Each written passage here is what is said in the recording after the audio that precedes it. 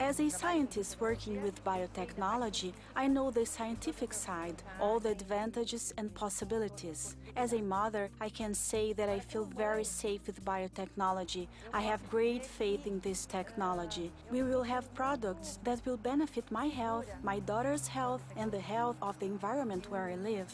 principalmente, nós temos... We have many products being developed in Brazil. Besides soy, we have corn, papaya, beans, potato, sugarcane, we have eucalyptus, rice, passion fruit, orange, and lemon. These products are tested. They are tested from the beginning in the lab, from the moment the gene is isolated. Then the gene is transferred to the plant, and the plant is analyzed to see if the gene expresses properly, if the protein we wanted to express is working, and if they are safe for human health and the environment. After that, this plant goes to a greenhouse where it is analyzed agronomically. Does it grow well?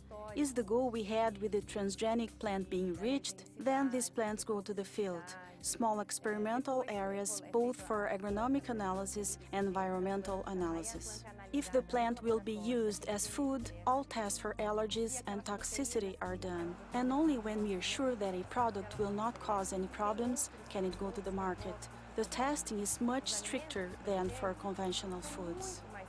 As pessoas têm muito medo... People are afraid of everything that is new.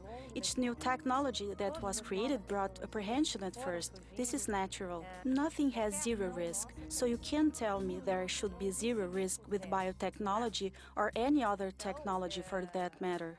Using biotechnology throughout the world, as far as I know, has not brought any significant problems. So the risk lies in not using biotechnology, in not utilizing the benefits for both the environment and society, in not using science to solve our problems of hunger, malnutrition, inhospitable areas where it's difficult to farm, the world needs to evolve, the population grows, and we need to have science and technology to keep up and bring benefits.